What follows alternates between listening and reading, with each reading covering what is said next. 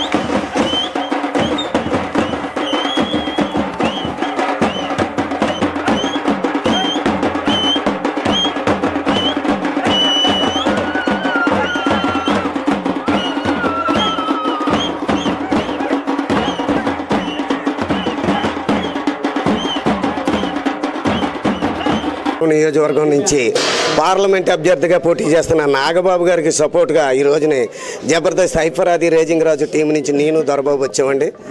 నిజంగా పార్లమెంట్లో మాట్లాడాలంటే విషయం తెలుసున్న వ్యక్తి అయి ఉండాలి చదువుకున్న వ్యక్తి అయి ఉండాలి లా చేసిన నాగబాబు గారు కానీ ఇతిహాసాలు చాలా మేధావుల బుక్కులు చదివి చాలా అవగాహన ఉన్న వ్యక్తిగా రేపొద్దున ఇక్కడి నుంచి పార్లమెంట్కి వెళ్తే ఇక్కడున్న సమస్యలన్నీ నోరెత్తి అడిగి చేయించగలగా సత్తా ఉన్న వ్యక్తి పార్లమెంటు సభ్యుడు నాగబాబు గారని నేను మనస్ఫూర్తిగా చెప్తున్నానండి.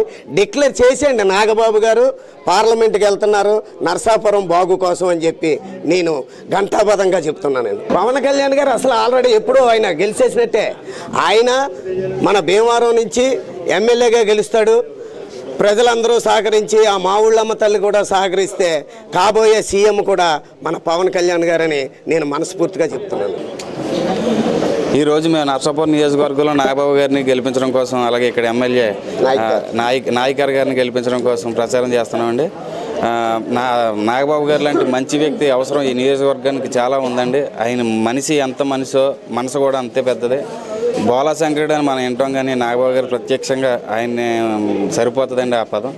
అలాగే మేము ఈ నియోజకవర్గంలో ప్రచారం చేసి ఆయన ఖచ్చితంగా పార్లమెంట్కి పంపిస్తాం.